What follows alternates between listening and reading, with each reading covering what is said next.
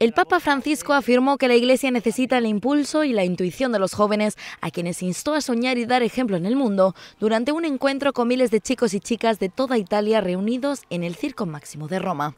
La Iglesia necesita vuestro impulso, vuestras intuiciones y vuestra fe. Y cuando lleguéis a donde nosotros aún no hemos hecho, tened paciencia para esperarnos, solicitó el pontífice ante los 50.000 jóvenes que le escuchaban desde la explanada romana.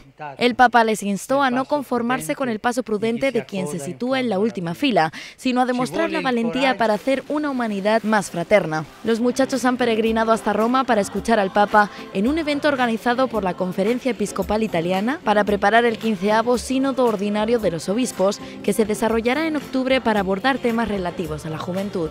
Fue un acto de ambiente festivo que comenzó con el pontífice recorriendo en papamóvil el lugar, mientras saludaba a los miles de jóvenes concentrados y sentados sobre sus macutos a la caída del sol tras una jornada de intenso calor en la capital italiana. El pontífice respondió a las preguntas de cuatro jóvenes, quienes le plantearon sus dudas sobre su futuro profesional, sus ambiciones o su deseo de seguir sus vocaciones. Entre la multitud que escuchaban sus palabras pudieron verse algunas banderas de Panamá, pues muchos de los jóvenes panameños ya se preparan para la Jornada Mundial de la Juventud que tendrá lugar el próximo enero en ese país.